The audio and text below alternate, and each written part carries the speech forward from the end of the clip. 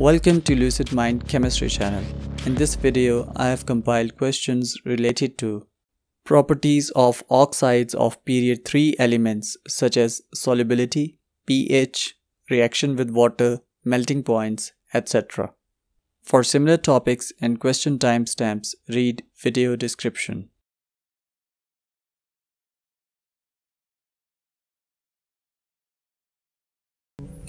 Question 16 Sodium, magnesium, and aluminium are three elements in the period 3 of the periodic table. Each element forms an oxide. Which row is correct? So, first one is A sodium oxide. It is basic. Yes, metal oxides are basic in nature. Magnesium oxide, it is also basic in nature. So, this is wrong. Aluminium oxide is amphoteric. This is correct.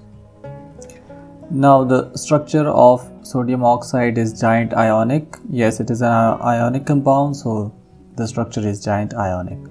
Similarly, magnesium oxide is also an ionic compound, so the structure is giant ionic. Aluminium oxide is also a giant ionic compound. So this is wrong. Simple molecular is wrong.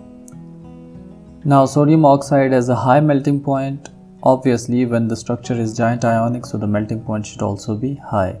Same for magnesium oxide, the melting point is high. But it says low melting point, so this is wrong because aluminum oxide is also giant ionic and it, the melting point is very high. Now the fourth point is sodium oxide readily reacts with water. Yes, it reacts with water and produces sodium hydroxide. Magnesium oxide slight reaction with water. Yes, it is correct and it forms magnesium hydroxide with water. Aluminium oxide has no reaction with water as it is stable to the dissolution or reaction with H2O. So the answer is part D.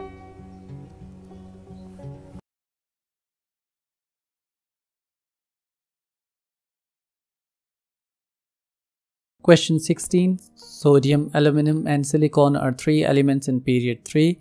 Each element forms an oxide. Which row has three correct properties of these oxides? Sodium oxide. Now, sodium oxide is a metal oxide and it is basic in nature. Sodium oxide, the bonding is ionic, so it is giant ionic structure. The melting point is also very high for the ionic compounds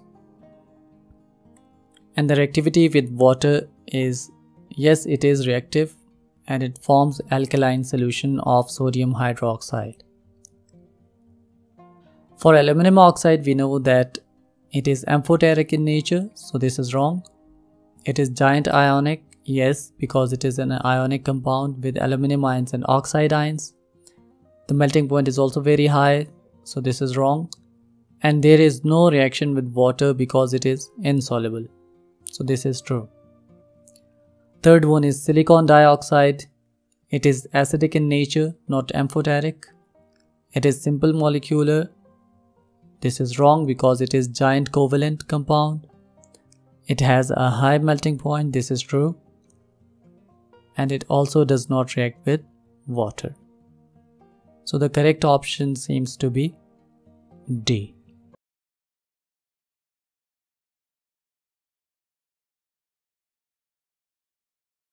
Question 15 Which element, when burned in oxygen, can form an oxide that is a reducing agent?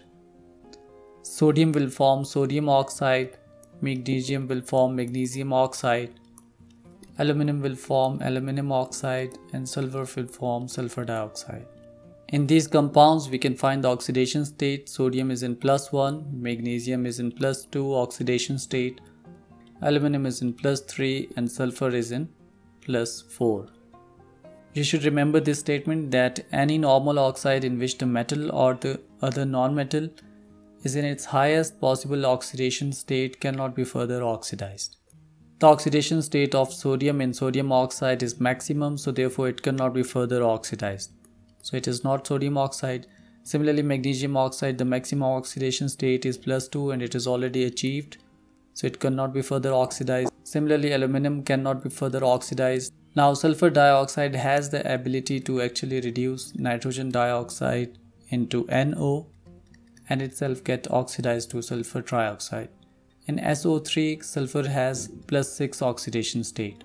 So the only possible option which can further oxidize itself or behave as a reducing agent is sulfur.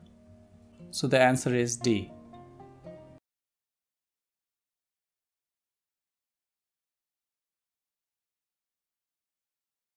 Question 36. When added to water, which oxide will not cause a change in pH? One is aluminum oxide. Aluminum oxide does not dissolve in water, so it won't change the pH. So this could be correct. Silicon dioxide is also insoluble in water and it won't change the pH. While phosphorus oxide is acidic oxide and it will decrease the pH of water. So the correct options are 1 and 2 and the answer is B.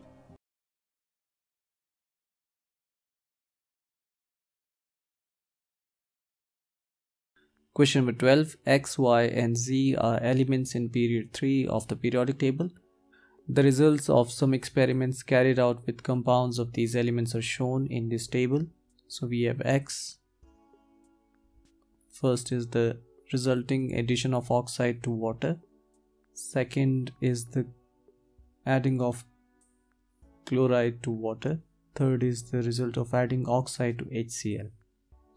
Which statement could be correct? Finding out the first one a says x is aluminum. So the result of adding the oxide of aluminum to water there is no reaction. As aluminum oxide is insoluble in water so there is no chemical reaction. So therefore this is correct for aluminum. Now the second reaction is of aluminum chloride with H2O so we can write AlCl3 plus H2O. This reaction is a hydrolysis reaction in which aluminum plus 3 is formed along with H plus ions. The third is the reaction of oxide with HCl. So aluminum oxide reacts with HCl to form salt and water. So X is aluminum, this is correct. Y is magnesium. So finding out the reaction of magnesium with water. It forms magnesium hydroxide. So this is true for magnesium magnesium chloride reaction with water it dissolves. Magnesium chloride is water soluble so this, therefore this is also correct.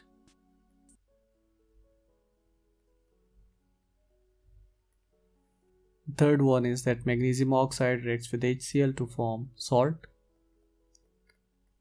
As magnesium chloride salt is formed so therefore this is also correct for magnesium. So X could be aluminum and Y could be magnesium Mo moving towards option B, X is silicon. First is there is no reaction of silicon dioxide with water.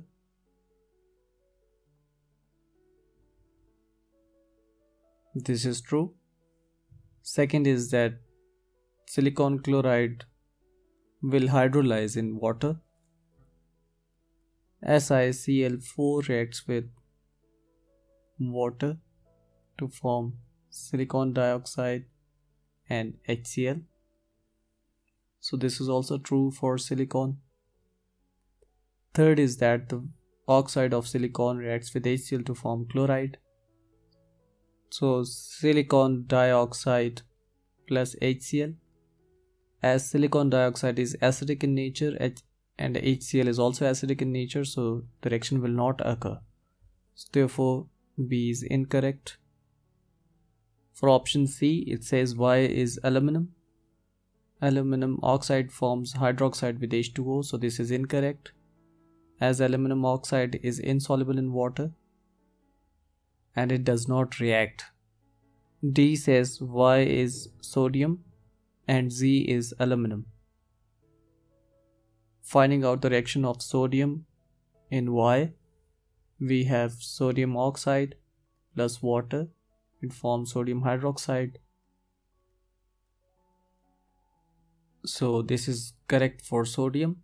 Second is NaCl is soluble in water as we know that NaCl is a common salt so it is soluble in water to form sodium ions and chloride ions so it is also true for the second one third is that the oxide of sodium will react with HCl to form chloride so Na2O is basic in nature it will react with acid to form salt along with water so this is correct for sodium so Y is sodium is correct then let's move towards Z. Z is aluminum. The first one is that aluminum oxide reacts with water to form acid. As we know that aluminum oxide does not react with water, so therefore this is incorrect. So therefore the only correct option is A.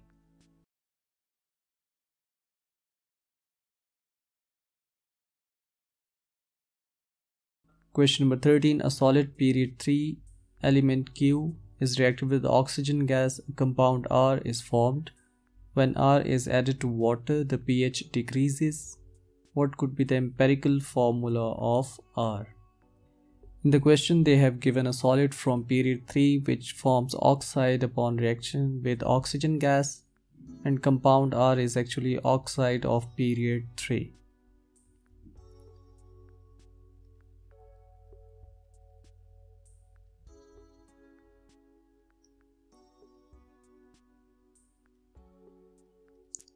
In period 3 we have sodium, magnesium, aluminum, silicon, phosphorus, sulfur and chlorine. All of them are solids except chlorine so therefore chlorine is not element Q. Second point is that when R is added to water the pH decreases it means that the oxide that is formed is acidic in nature. Acidic oxide is the oxide of non-metal oxides. So it means it is not sodium, it is not magnesium. As these are basic oxides, the oxide of aluminum is amphoteric in nature, so it is not aluminum oxide. So only options left are silicon, phosphorus and sulfur. If it is silicon, then silicon reacts with oxygen to form SiO2 if it is phosphorus, it reacts with oxygen to form P4O10. If it is sulfur, it will react with oxygen to form sulfur dioxide or sulfur trioxide. Now we can write the empirical formula considering this these elements as Q. So the empirical formula for SiO2 will be QO2 as it is the simple ratio 1 ratio 2 and it cannot be simplified further. For second one it will be 2 ratio 5 so the compound formed will be Q2O5 for third one it will be QO2 or QO3 let's look at the given options. We have this one similar. This is not the empirical formula it is the molecular formula so therefore option B is correct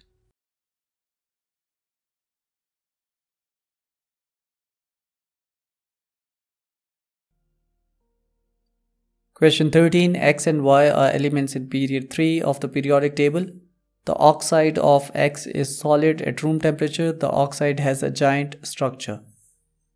The chloride of X does not react with water. Argon is the only element in period 3 with a lower melting point than Y. What could be the formula of compound formed between element X and element Y? The elements in period 3 are sodium, magnesium, aluminum, silicon, phosphorus, sulfur, chlorine and argon. The oxides formed by these elements that have giant structure are sodium oxide, magnesium oxide, aluminum oxide, silicon dioxide, while the oxide of phosphorus and sulfur have simple molecular structures.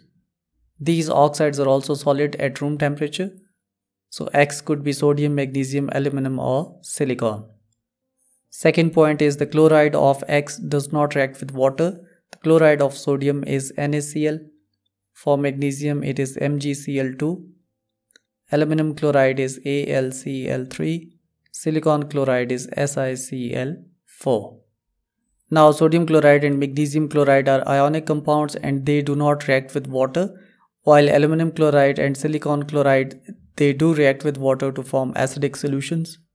So element X could be sodium or magnesium. Now let's find out which is element Y. The third point says that argon is the only element in period 3 with a lower melting point than Y. It means that Y is also a gas. So therefore it should be chlorine. So the formula between X and Y could be sodium chloride or magnesium chloride as only sodium chloride is given. The answer is therefore C. Thanks for watching. If this was useful, please do like, subscribe and share.